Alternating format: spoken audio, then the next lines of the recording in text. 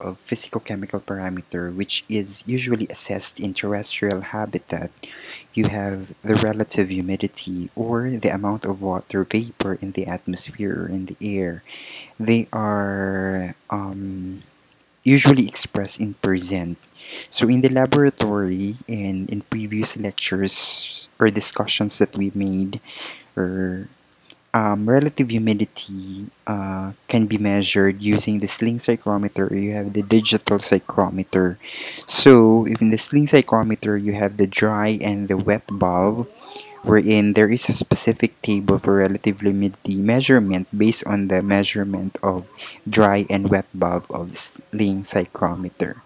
So what is relative humidity and its relation to temperature? Okay, always ba na pag tumaas ang temperature, tumataas din ang relative humidity? Parang ganon. So, in a specific type of habitat or a specific type of terrestrial ecosystem, depende po yan siya. Depende po kung ano, kung um, depende kung ano yung tinatawag na dew point ng isang area. So dew point is actually the temperature wherein the relative humidity at is at max is at its maximum point. Ibig sabihin, ang level po ng relative humidity at that temperature is 100%. So ibig sabihin in this graph here at below 40 or nearly 40 in this type of habitat for example, okay? So you will expect that there is 100% relative humidity. So, itong particular temperature na to, ito yung tinatawag na dew point kasi nagma-maximum yung relative humidity mo ng 100%. Okay, what about this nearly 30? So, if air is further cooled to 32, for example, then this particular amount of air must be condensed out since air can hold only up to this point or this amount of water vapor at that temperature. Okay? So, ibig sabihin, pwede rin ito, yung dew point, kaso nga lang, mas less yung ability ng atmosphere to hold a specific amount of water vapor. Yun ang ibig sabihin niya. So, um, ito, i-condense mo, okay, kasi bumababa din yung uh, ability ng atmosphere to hold that particular temperature. So relative humidity rises as as air cools down. So at 86 degrees Fahrenheit, this humidity gives 20% uh, relative humidity, for example. So ito.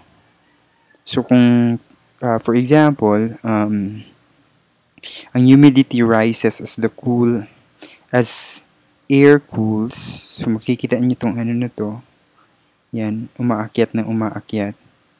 So, walang, kung makikita nyo, walang direct na relationship ang temperature at relative humidity. It is because um, that depends on the amount of, or the, the capacity of the atmosphere to hold a specific amount of water vapor. That's the measure of relative humidity. And nagbabago, yung nagbabago depende sa area, yung tinatawag na dew point or a temperature wherein relative humidity at is at its maximum level. Okay.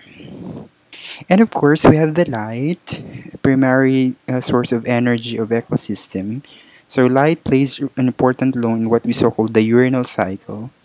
So it is being perceived most likely, for example, by animals or some animals. It is because um, ito yung nagiging ano, parang part ng what we so called circadian rhythm, yung light.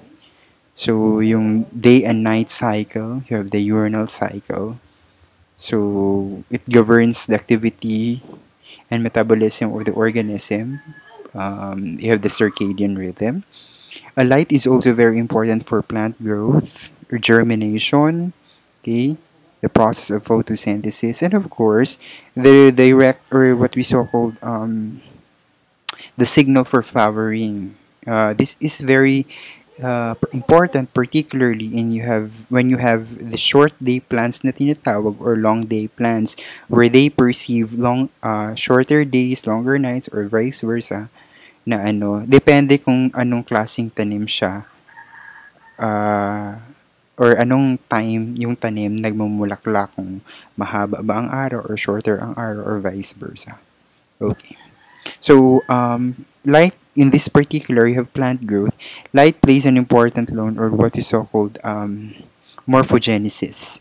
So, the importance of light and morphogenesis starting from the um, germination up to the growth and development. Okay?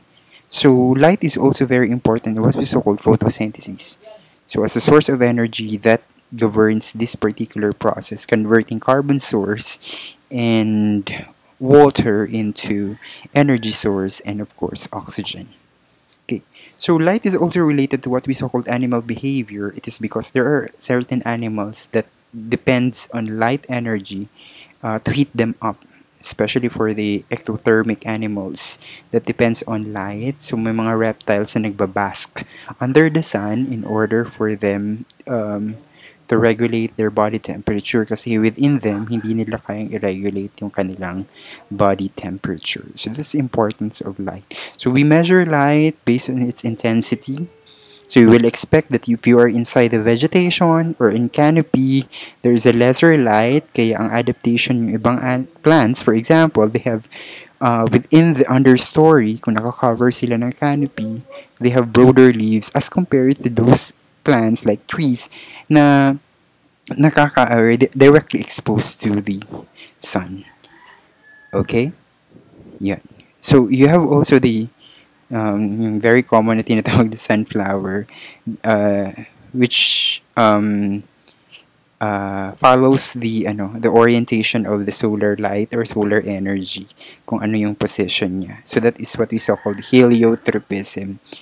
But um, there are other articles, forgot the, the title of the articles, that um, it's not only light that governs the position of the flower of sunflower.